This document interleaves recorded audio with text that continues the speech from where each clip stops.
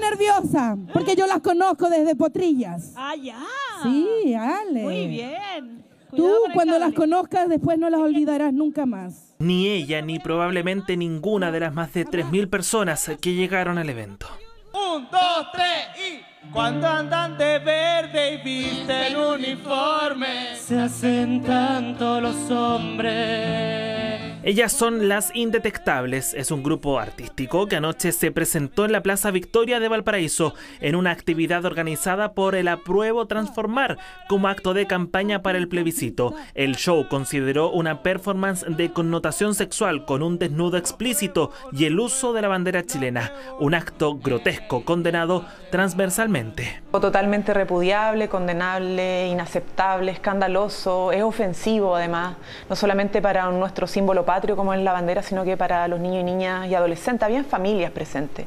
Y por eso tanto la Subsecretaría como la Defensoría de la Niñez denunciarán vulneración a los derechos de la infancia y ofensa al pudor. El gobierno evalúa querellarse por ley de seguridad interior del Estado por ultraje a la bandera. Yo creo que todo tiene un límite. Es que el espacio público es de todos y por eso tenemos que resguardarlo y el resguardo significa respetar a todos y todas quienes habitan el espacio público. Empezó la escándala en vivo y en directo. Los hechos en todo caso ya están siendo investigados por la Fiscalía. Ministerio Público ha decidido iniciar una investigación de oficio por el delito de ultraje público a las buenas costumbres, sin perjuicio que se puedan verificar durante el recurso de investigación la ocurrencia de otro tipo de delitos y partícipes. No es primera vez que las indetectables protagonizan un acto de estas características.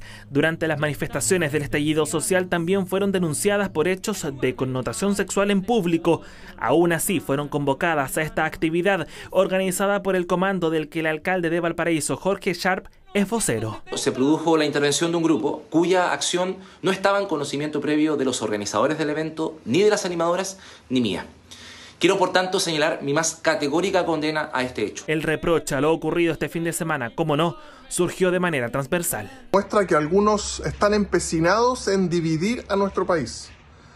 La falta de respeto a la bandera no solo está penada en la ley, es un delito al orden público. El radicalismo irracional los lleva al absurdo de cometer esta aberración. Que repudiamos enérgicamente lo que ocurrió el día de ayer y es por eso que pusimos una, querella, una querella para quienes resulten responsables. Este acto, que fue expresado por tres personas, no representa en nada el espíritu de aquellos que queremos aprobar este 4 de septiembre. Cuestionado show de una actividad de la prueba que marca la recta final de la campaña para el plebiscito, pero que por su tenor también el inicio de una investigación de parte del Ministerio Público.